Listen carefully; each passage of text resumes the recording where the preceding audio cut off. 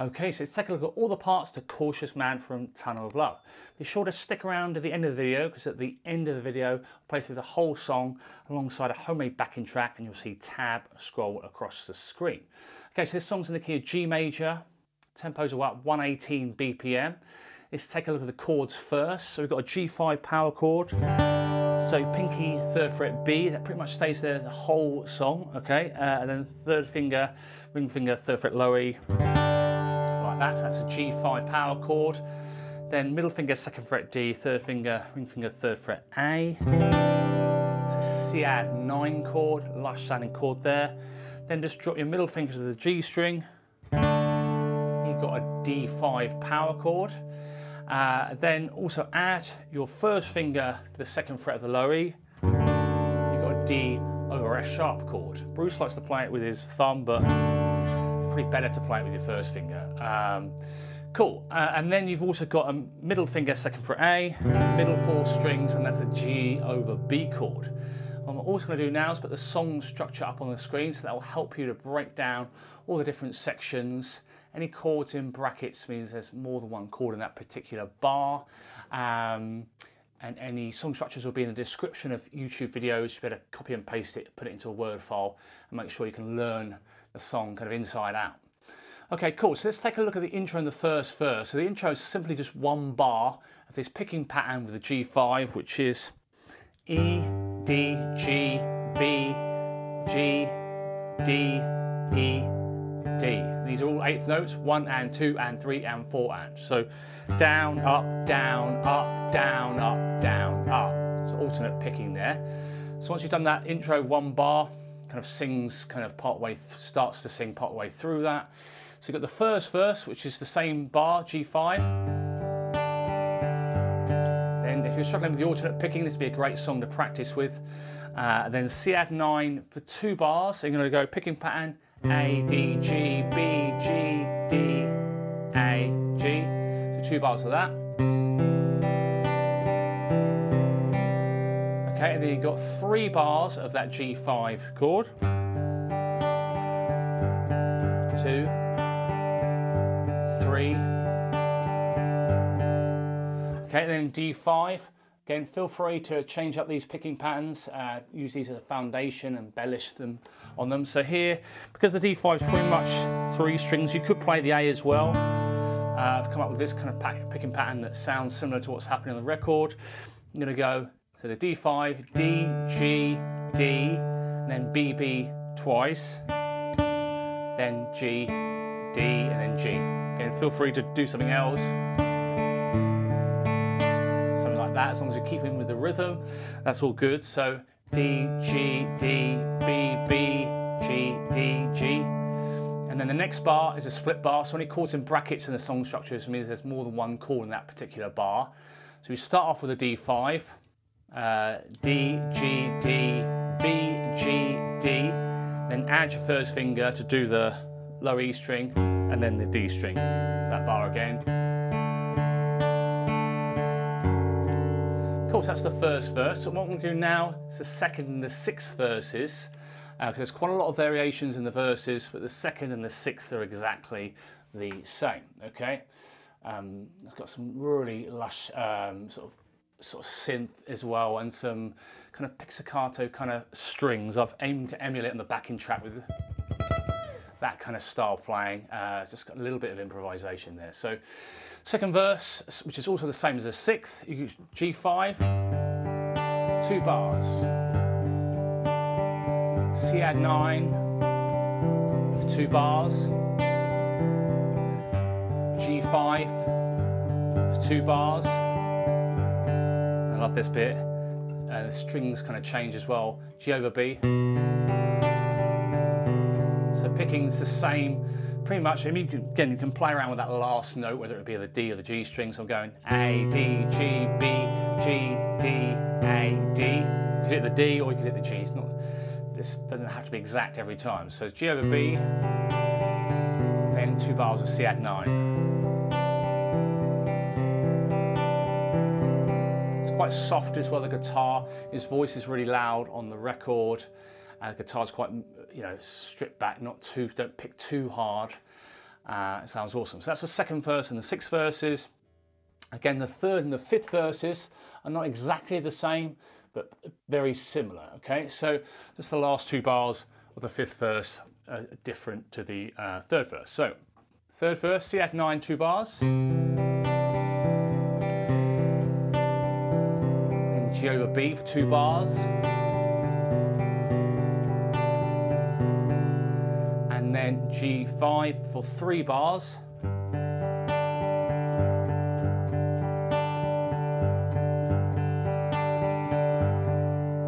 Okay, and then D5 you had these two bars in the uh, first verse, at the end of the first verse. And the split bar,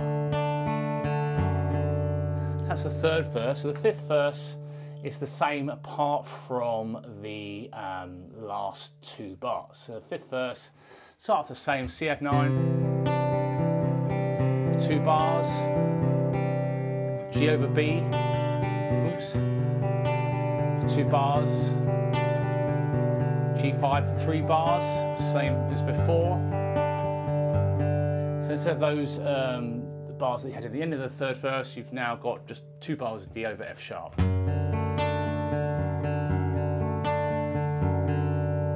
Cool, so that's the third and the fifth verses. Now the only verse we haven't done is the fourth verse.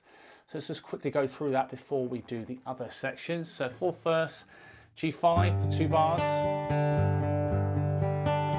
C add 9, two bars, and then G5, two bars,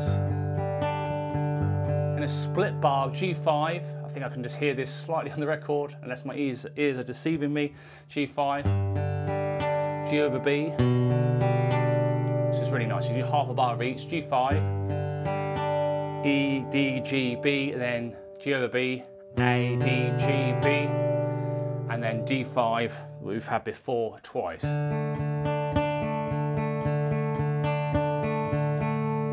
Cool, so that's all the verses. Again, there's a lot of them that are similar, but there might be some slight variations there which I've gone through. So the choruses, good news there is they're all the same in terms of structure. So there's six of them, and they're all the same eight bar structure. Um, but the only difference is in the sixth chorus, it just slows down naturally to sort of to end the song. Okay, so all the choruses, you've got two bars of G5, two bars of C add 9, one bar of G5, one bar of, of D over F sharp, then two bars of G5 It's quite straightforward those choruses. Cool, and then you've got the breaks. Um, so the first break and the second break where there's no singing. Uh, just short little kind of sections there. So the first break, C add nine uh, for two bars. G over B for two bars. And then you've got a split bar of C add nine, down, up, down, up, A, D, B, G, and then D5 half bar.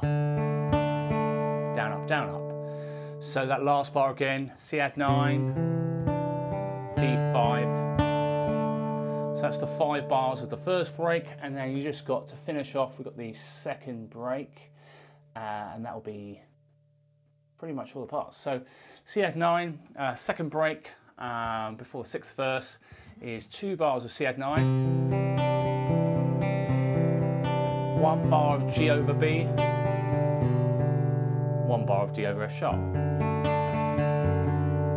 Cool, so that's all the parts. A fantastic song from uh, Tunnel of Love, one of the best Bruce albums in my opinion. Um, it's, it's, an awesome song, an awesome album. Uh, any questions about anything or getting the files, the tabs, don't forget you can get the tabs on the JS Music School store, I'm either in PDF format or Guitar Pro format, instant download. So go direct there in the Bruce store there, or you can use your SubscribeStar codes if you're a SubscribeStar. Any questions about any of that, let me know. Please like the video if you've enjoyed it. Any comments, suggestions, well, any comments or suggestions, let me know in the comments section below. And don't forget to subscribe and hit that bell icon for notifications.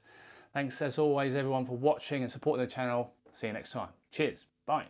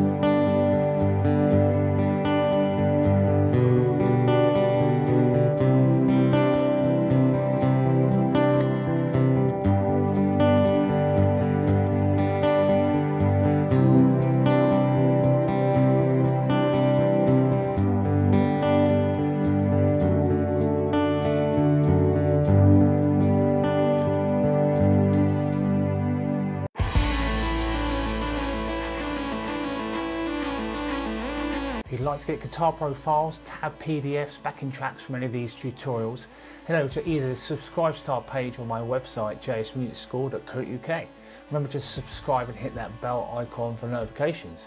Thanks very much, see you on the next one.